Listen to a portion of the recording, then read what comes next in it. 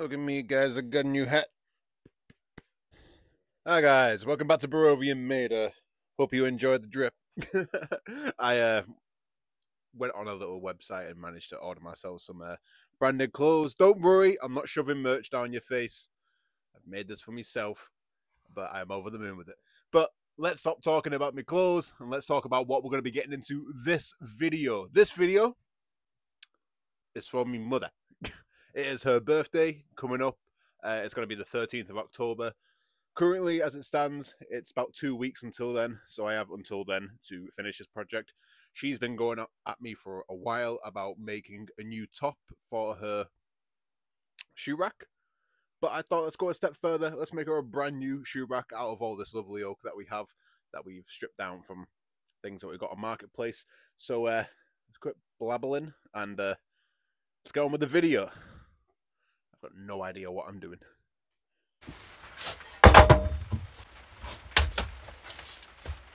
So we're starting off with what I'd consider to be the frame or the skeleton of the actual shoe rack.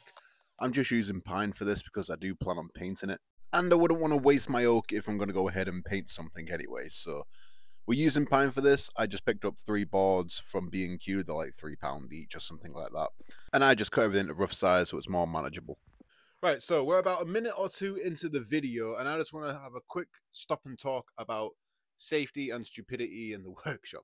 I've just really hurt my hand on my table saw that isn't even turned on. So let me show you what I did and let's talk about how to prevent little stupid accidents like this. So obviously I can't show what I did on camera or else YouTube would demonetize the video. Uh, the cuts on my fingers aren't that bad. I don't think it warrants going to the hospital. My ring finger, you can sort of see the knuckle. Uh, but it should be fine. It's an awkward place, and you won't be able to put stitches in it anyway. I don't think.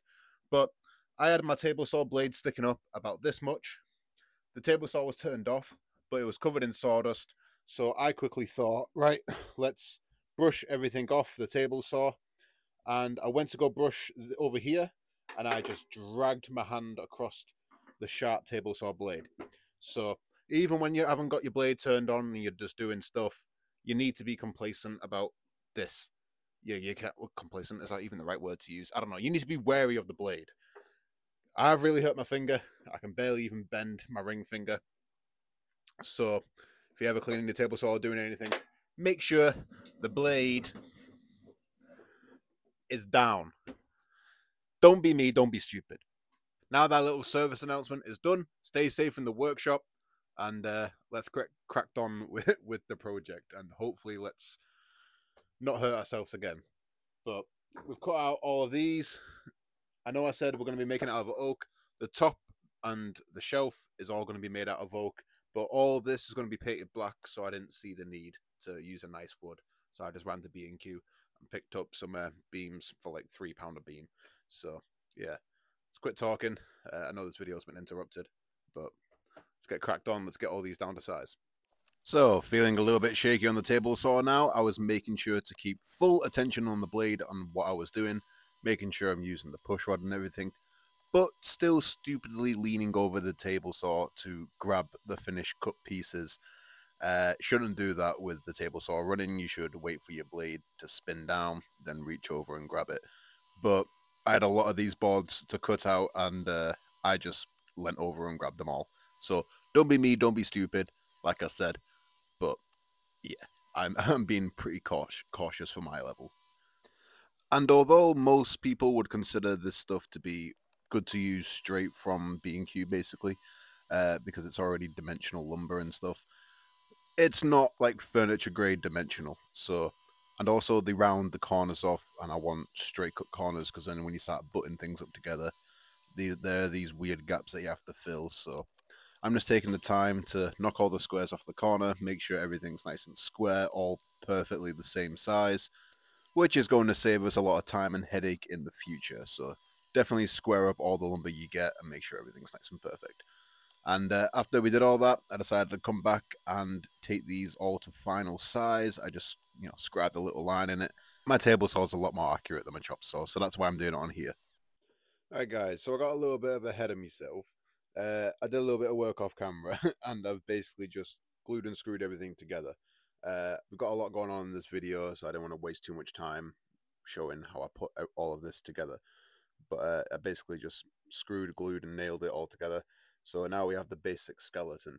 Still got no idea what I'm doing, but we now have to put a floor, the sides, and the backing on this. Not quite sure what's the best way to do this. I don't know whether to have it on the inside and keep these beams exposed here, or have it flat on the top and have it come out the sides a little bit. I am a little bit unsure, so I'm kind of just thinking about it. But uh, yeah, this is where we're up to right now. And uh, next, I think we're going to just start working on the floor and then worry about the sides after we get the floor in. Oh, it's painful watching this back, seeing all these nice big chunks of wood getting cut up into smaller pieces. But I had no other bits of wood, so I had to use these. And uh, yeah, it hurt, but it, I came out with a nice product. So overall, I'm happy with it, but I really didn't like cutting up these nice big chunks that I have and uh, hurt the soul a little bit. But we're taking all these down. I decided I'm just going to cut everything out and then try and deal with it all. And for my regular viewers, you might recognize this piece of wood from a previous project. Uh, I, I, lied when I chucked it in the scrap bin. I didn't chuck it in the scrap bin. I chucked it back on my stockpile because I thought this will come in handy one day. And uh, it did. I managed to cut it up and use it for this shoe rack and uh, try preserve as much wood as possible. But I, I did have to go back to my bigger chunks of wood and cut them up into smaller pieces as well, which again hurt my soul. Right, so we have all of our pieces all cut out. Now we have to sand everything. I'm very confused on the order of operations here. There's so many different bits that I've got to sand and do. Uh, I'm getting very confused, but I figured sand it now, assemble it, and then if I need a sand later, I can come back and sand it again instead of just putting it all in and then struggling to sand the pieces. So I'm going to sand it now. This might be a waste of time, but let's get everything nice and sanded. We're going up to 320 grit. Go on, I'll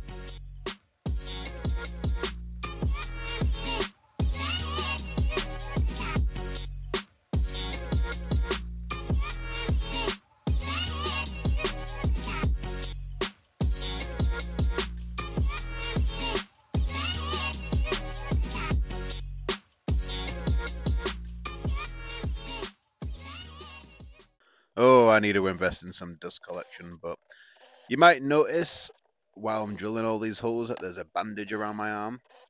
That's because I was stupid enough to try use my angle grinder to sand in the corners of these pieces and uh, obviously the angle grinder bit into one of the sides, ripped itself out of my hands and uh, decided to have a good grind at my arm. So, you know, when my, when my mother asks how this project was, I'm going to tell her that literal blood, sweat, and tears went into this project because I have hurt myself so many times in this video. It is ridiculous.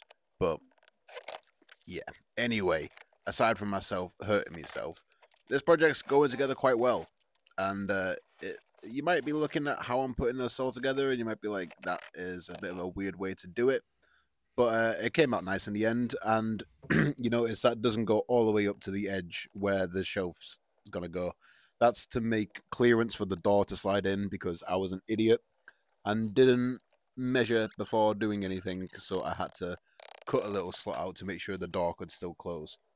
But I was also a bit nervous on how am I going to attach this little uh, wall, I guess we'll call it, in between. I ended up just coming in at a 45 degree angle with some nails and some glue, tapping it all in place, and that was more than strong enough. The glue held it in place pretty good. We'll see how it holds up in the long run, though, because there isn't any accounting for wood movement here. Those boards are going to want to expand and contract, and I've only really thought about this while I'm editing. At the time, I didn't think it'd be that much of an issue because the smaller pieces, but they are one big piece. Uh, you know, as in like it's not loads of boards glued up together. It's just one board put in there and slotted in there. So fingers crossed it holds up in the long run. I think it will anyway. I think that little board, it might only move a couple of millimeters, and I think there's probably enough breathing room within the pine to allow for that. But let me know down in the comments if you think it will hold up. if you're wondering what I'm doing here with a screwdriver, by the way, I'm not doing anything special. I'm just sinking the nail heads that I'm using into the actual wood, just so they're not sticking out on the surface, and it gets a little bit of a tighter fit as well. I did the same thing with attaching these sides here. Uh, although, I guess I could say I counted for a little bit of wood movement, because when I first cut all these out, I cut it to perfect size, so you'd have to tap it in with a hammer, and it was all, you know, perfectly done and then I went and sanded it, and it became a really, really loose fit. So, uh, you know, you'd think I'd learn these lessons by now, but I'm still learning. Still I go in. I'm about a year and a bit into woodworking, and still making these stupid mistakes. But I secured them in place with some nails and some glue, and uh, it turned out to be perfectly fine, and uh, it came out pretty well. I ended up going back around at the end, put a bit of filler in it, and uh, it looked fine after painting it, and it was great. And if you're a frequent video watcher of my channel, why did I say that in such a weird way? If you're a frequent viewer, you'll know where this is from. These are from all of the uh, things that are ripped down for the wood. Uh, I made a video about going to marketplace and getting free oak. I told you not to throw these little bits of oak away. They always come in handy.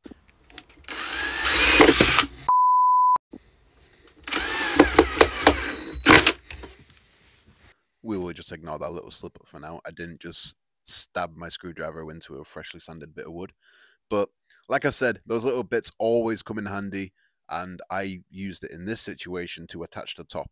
And talking about the top, there's a little uh, imperfection that we need to fix up. So there was a little bit of chip out on this. Obviously, when I ripped this unit down, uh, a screw or something must have broke out of the side and chipped this bit off. So I'm just coming in doing a little uh, insert. I made a video about doing inserts and stuff like that. It's really, really not that intimidating as it seems. All you need is a really sharp chisel and a bit of practice, and inserts, especially ones like this, are really simple and easy. I made a video where I did it all in one take and explained all of it as I was going along. Because uh, I know when I first started out, I thought inlays and stuff were dead intimidating, but they're not as hard as they seem, and they're pretty forgiving, especially when you're doing the square ones and stuff. But now we're going back around and we're painting. And mother, if you're watching this, yes, that is your barn paint that I'm using. And I didn't go out and buy the black paint. It's been sat in the shed for a while, so I thought I'd use it up. but yeah, just painting around the perimeter. Every, basically, everything that's pine is getting painted. Uh, I wanted to have that nice black and oak contrast because uh, where this place is going, it's having a shelf where it's also got black brackets underneath and an oak top uh, made by yours truly. so I kind of wanted it to match that and the general decor of the house. But here I was a little bit nervous because I was putting the oil on and I was a little bit worried that it would make the paint come off or like, you know, smudge it and stuff. So I was being very, very careful not to get it on the corners and stuff. But turns out the paint didn't come off. So I'm not quite sure if I showed it here, but I ended up going around the whole thing and giving it a whole coat of oil. Uh, I'm not quite sure if putting oil on paint helps with the protection for the paint. Let me know down in the comments below your theories, but if it doesn't smudge or weaken the paint, I can't see how it can't do any harm to put a bit of oil on it.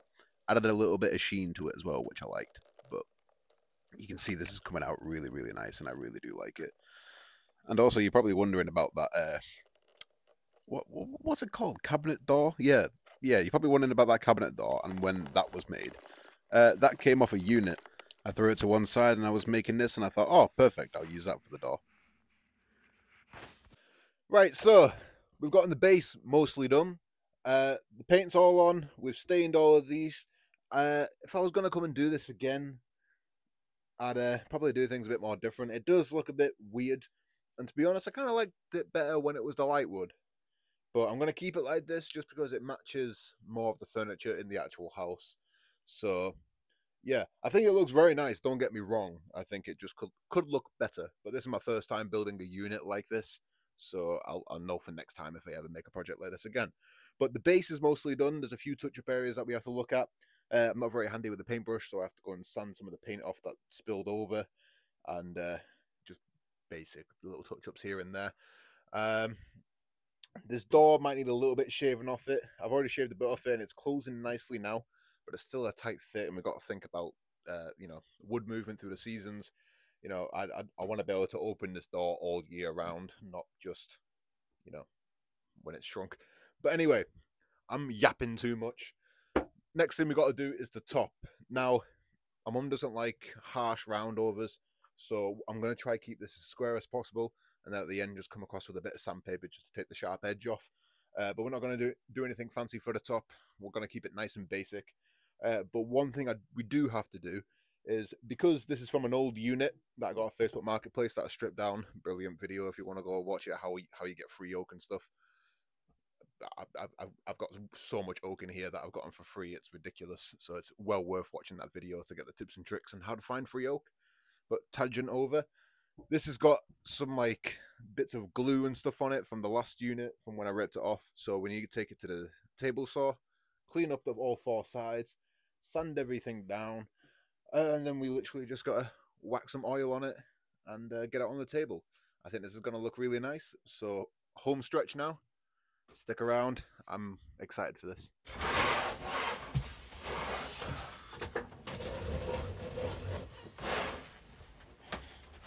Oh, it needs to be plugged in. Oh, when will I learn? Right. Now let's make some dust. So like I said before, all this wood is from units I've stripped down in the past and gotten for free. And with this being stripped down from a previous unit, it's got bits of glue and stuff on all the corners and stuff. Uh, it's it, it's just nasty. So instead of trying to sand it or scrape it all off, I'm just going around the table saw, just taking little skim passes and shaving it all down, just so I can get nice clean edges. And then after that, we're gonna go back to the sander, uh, crossing our fingers that we're not gonna drop the sander and sand our arm instead. But uh, yeah, I'm taking this all the way up to 320 grits. Uh, I could really do with some dust collection. I don't know if you can see, but I'm using hoodies to protect the table that I've already, you know, not the table, the skeleton that I've already done. This is the top. I'm, I'm sorry, guys. I'm messing up my words today. Uh, you guys know what I mean. The what we've done so far, I've covered it with hoodies and stuff, just so I don't get dust all over it because it's nicely finished now. And just before this oil goes on, this has got to be the nicest chunk of wood out of the pile. So glad I didn't cut this one up because it is beautiful. This has got to be the nicest tabletop that I've made so far. And uh, my mother better be appreciative because I'm not making, obviously not making any money off this project, and I've chucked my nicest bit of wood at her. So, I mean, it's worth it. It's coming up to her 60th, so she deserves a special gift, and this is a very, very special piece of wood. But you'll see it in the final shots, but just the different sort of colors and tones, the swirling grain. Oh, I am in love with this piece of piece of wood. I'm sorry you're talking about wood, but it looks really, really nice, and I really enjoy it. And one good thing that's coming from this is I will be able to see it every day, unlike if I sold it to a customer. Mm. If I smaller bit. Uh, I'm just going to do all these by hand.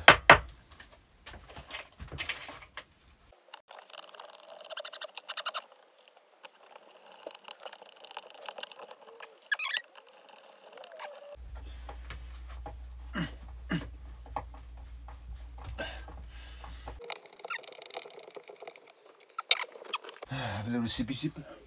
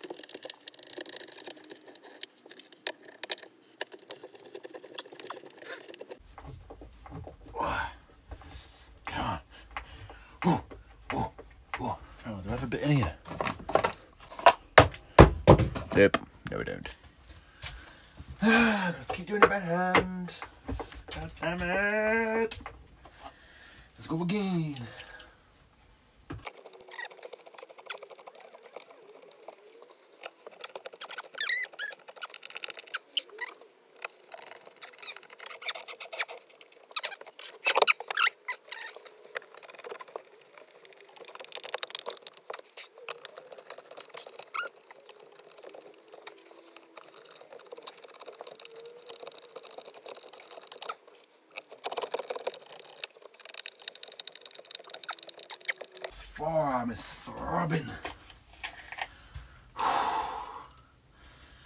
two more, two more to go. Come on.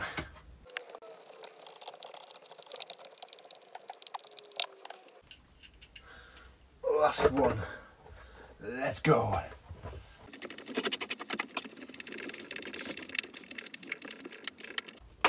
Ah, there we go. Close. Ah.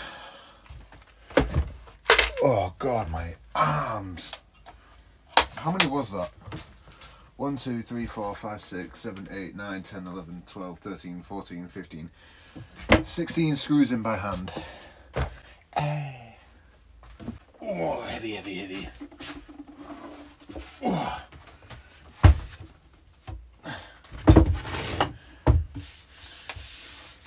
There we go. Oh, very pretty. Very pretty. I like. So, as you can see, it came out very nice, and I really am in love with that top. I, I'm glad that I'm going to be able to see it every day. Here it is in its final resting place. I probably should have measured that corner before putting it in, but luckily it fit in there like a glove. And yeah. But anyway, I hope you enjoyed this project. I really enjoyed it. The mother was thrilled with it. And uh, I'll see you in the next one. Like, subscribe, stick around, and uh, I hope to see you again.